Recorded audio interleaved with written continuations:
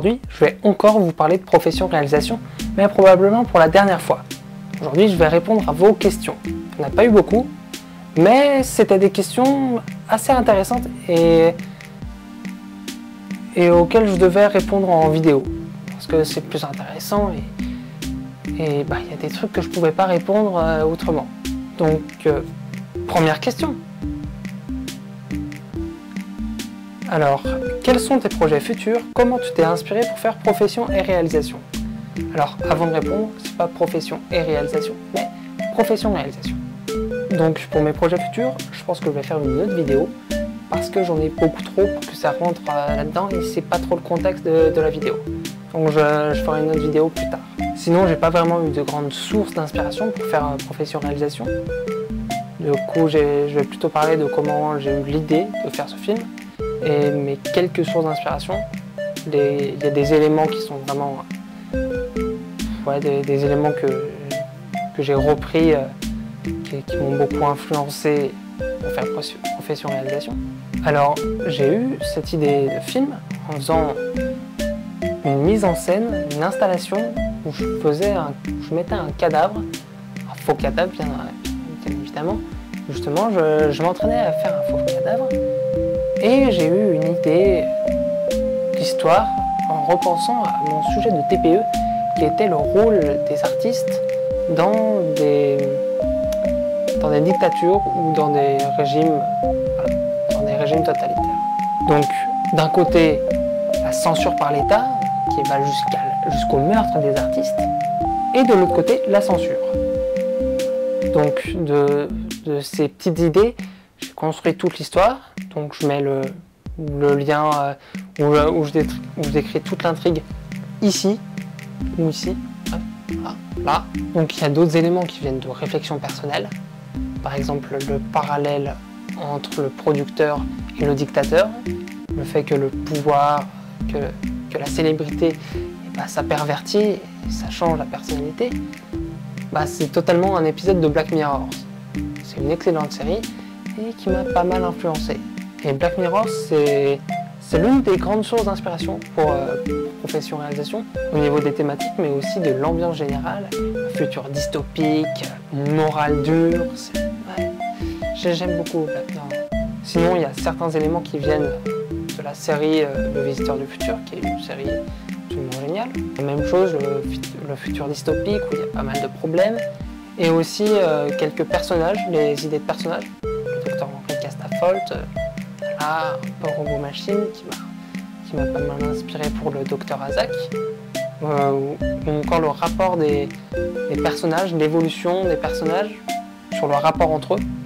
Puis euh, j'aime aussi beaucoup les, univers euh, post-apocalyptiques, steampunk. Du coup j'ai plusieurs, plusieurs projets qui vont, qui vont se passer dans un univers comme ça, j'en ai pas plus. Donc je crois que j'ai fait le tour sur mes, sur mes sources d'inspiration pour profession-réalisation, en tout cas celles euh, qui sont bien visibles. Puis il y en a probablement d'autres qui sont peut-être plus inconscientes que, je ne m'en rends pas forcément compte. Euh. Deuxième question. Enfin, pas vraiment question, commentaire, parce qu'il y a plusieurs questions dedans. Bref, vous voyez le délire. Peux-tu nous montrer les costumes des personnages et nous expliquer pourquoi tu les as choisis? De plus, quel est ton moment préféré du film? Merci. Au niveau des costumes, il y en a vraiment un par, euh, personnage, sauf Goz, qu'il y en a plusieurs, mais ça c'est pour ça que je vais le, traiter euh, plus, euh, plus, à la fin. Donc je vais faire par ordre chronologique ce qu'on voit en premier, puis, voilà. Donc le premier personnage qu'on rencontre, à part Goz, c'est Voxort je compte pas la secrétaire, je n'avais pas réfléchi à, son design, à son costume, bref, il n'y a pas de secrétaire, faites comme s'il n'y en avait pas.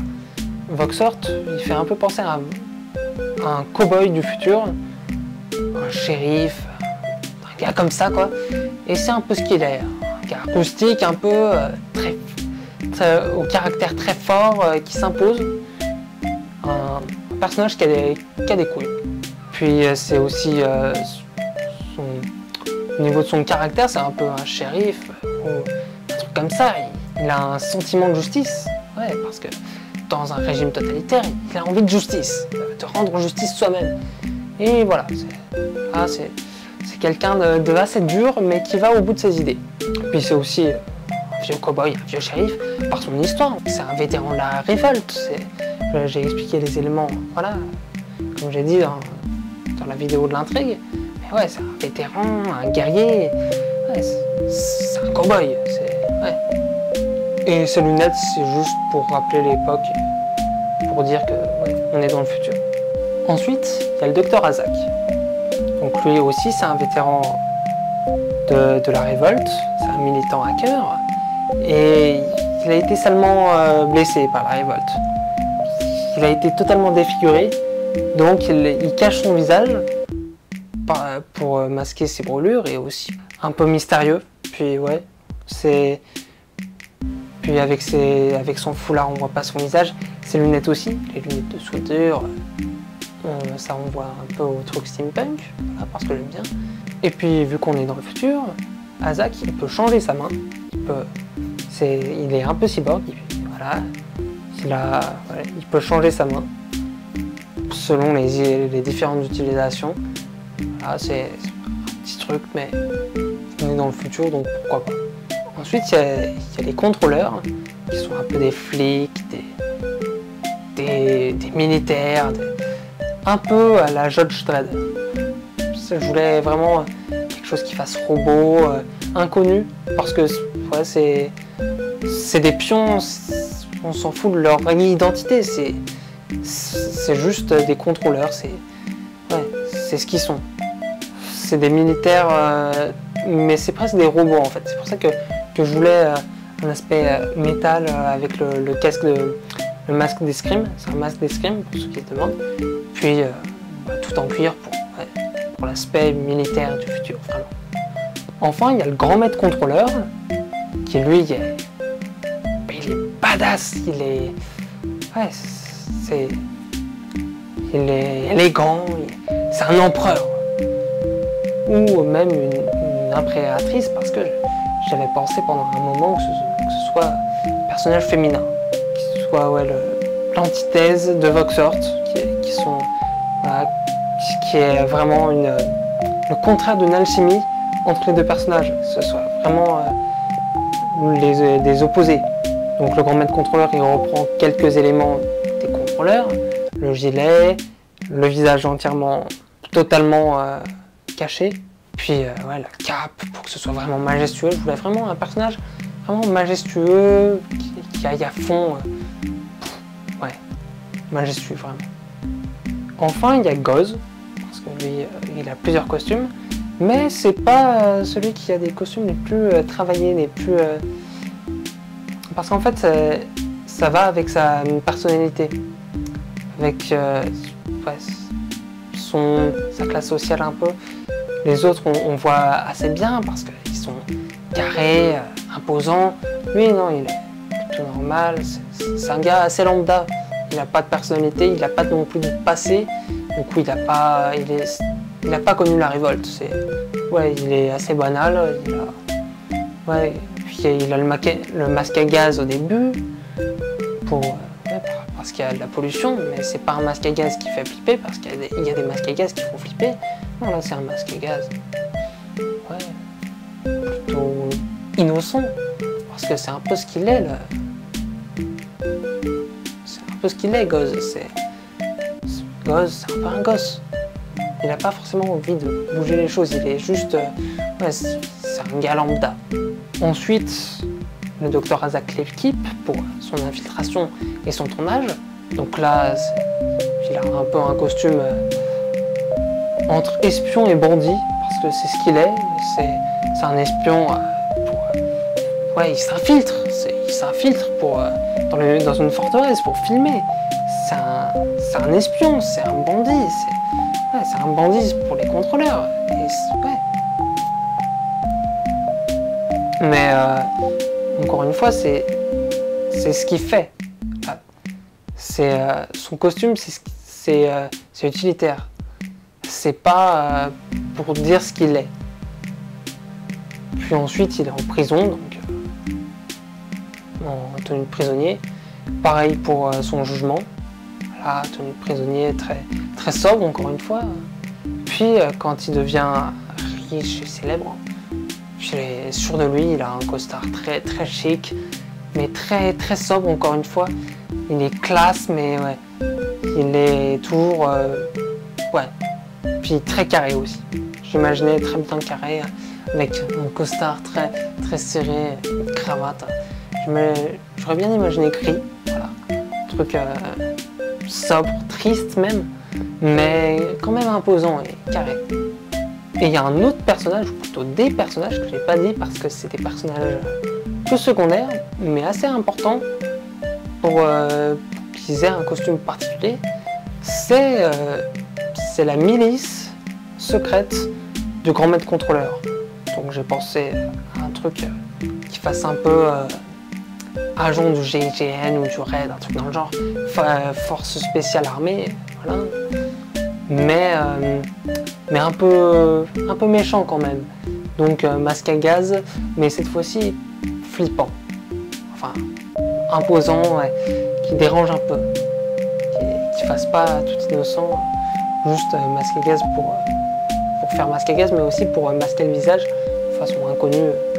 Ah, c'est une police secrète, donc ouais, tenue un peu militaire et avec un aspect un peu plus futuriste et agressif pour, pour rappeler que, c'est des méchants. C'est débile, mais ça fonctionne assez bien. Sinon, pour répondre à ta deuxième question, j'ai pas vraiment de moment préféré dans professionnalisation parce que bah, c'est à peu près tout du même niveau et puis ouais, ouais, tout du même niveau. J'ai pas vraiment de moment préféré parce que c'est tout utile. Mais si je l'avais vraiment fait comme je voulais.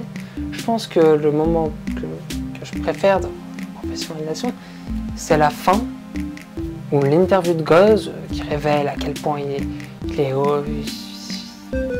il est détestable. C'est un gars totalement au service du remède contrôleur, qui, est lèche-cul.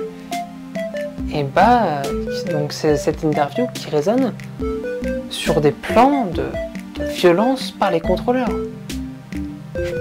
pense que ça aurait vraiment été, vraiment été bien ça. Surtout pour conclure le film, j'aurais bien aimé faire ça. Allez, passe à la suite. Troisième et dernier commentaire.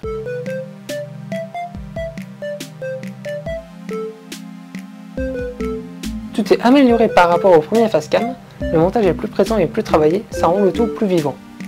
Est-ce que Profession Réalisation est ton L'homme qui tue à Don Quichotte pour Terry Gilliam? Alors, tout d'abord, merci beaucoup. Ça fait plaisir de savoir que je progresse. C'est toujours sympa de le dire. Merci. Et euh, pour répondre à ta question, absolument pas. Moi, je suis un amateur, alors que Terry Gilliam, bah, sa profession, c'est la réalisation. Moi, c'est pas le cas.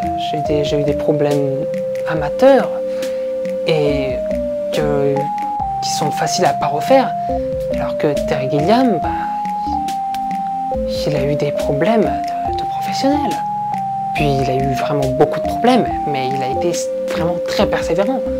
Et malgré tous les problèmes qu'il a eu, c'est vraiment fou euh, le nombre qu'il en a eu, et eh ben il a réussi à, le sortir. Enfin, il a réussi à le finir et il est sorti en salle. D'ailleurs, il faut que je vois le résultat.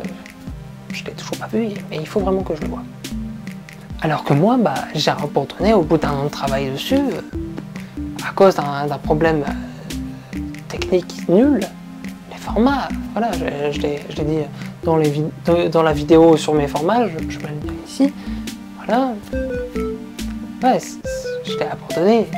Je dirais que le seul véritable rapport entre profession-réalisation et l'homme qui tue à Don Quichotte, bah, le seul véritable rapport, c'est que c'était tous les deux des projets très ambitieux, trop ambitieux pour moi, et euh, même trop ambitieux pour Terry Gilliam qui a eu vraiment beaucoup de mal à le faire.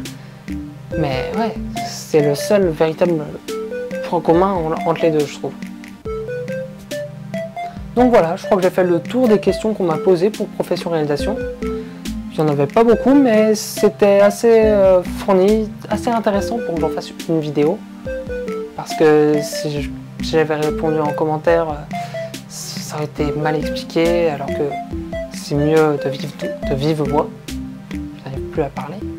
Si vous voulez revoir toutes les vidéos à propos de profession réalisation, j'ai fait une playlist, je mets le lien dans la description en fiche là, comme ça, puis à la fin de la vidéo aussi, comme ça, voilà.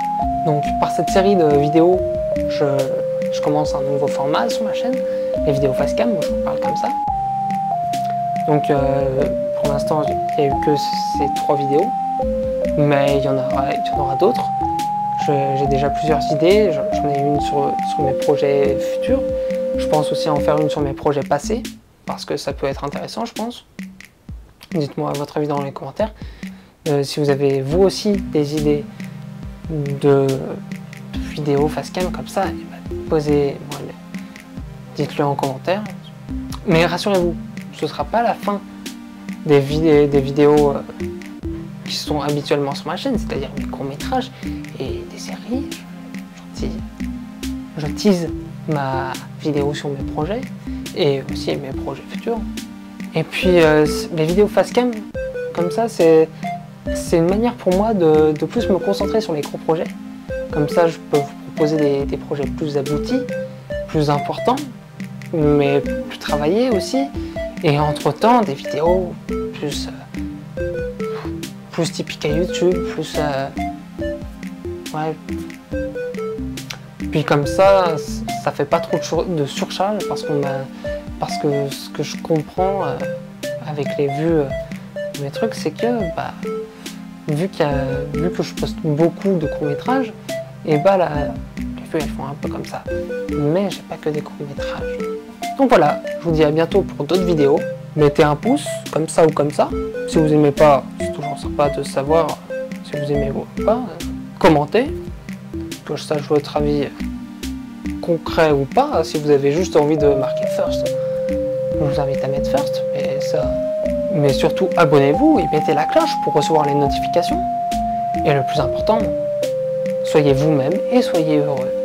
Allez, salut